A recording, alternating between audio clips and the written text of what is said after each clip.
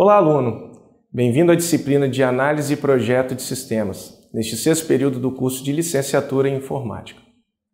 Meu nome é Carlos Jones Rebelo Júnior e sou professor especialista responsável pela disciplina Análise e Projeto de Sistemas.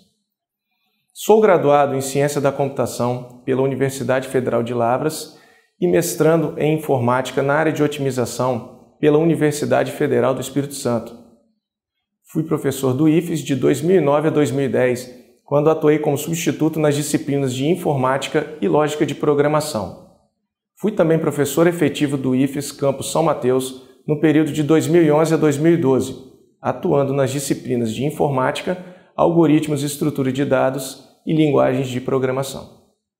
Atualmente sou professor efetivo do IFES Campos Linhares desde 2012. Muitos dos conceitos discutidos nessa disciplina já foram e serão vistos com diferentes níveis de profundidade nas disciplinas de Engenharia de Software e Gestão de Projetos, respectivamente. Na disciplina Análise e Projeto Software, você vai conhecer as principais fases de desenvolvimento de um software. Em detalhes, vamos abordar a fase de análise e a fase de projeto. O objetivo principal dessa disciplina é fazer com que você conheça e realize as atividades de análise e projeto para um sistema exemplo.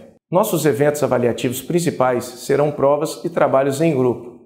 Com relação à bibliografia, a apostila foi montada conforme o livro Princípios de Análise e Projeto de Sistemas com o ML, do autor Eduardo Bezerra, e o livro Utilizando o ML Padrões, do autor Lar. Fique ligado nos prazos, organize seu tempo e sucesso!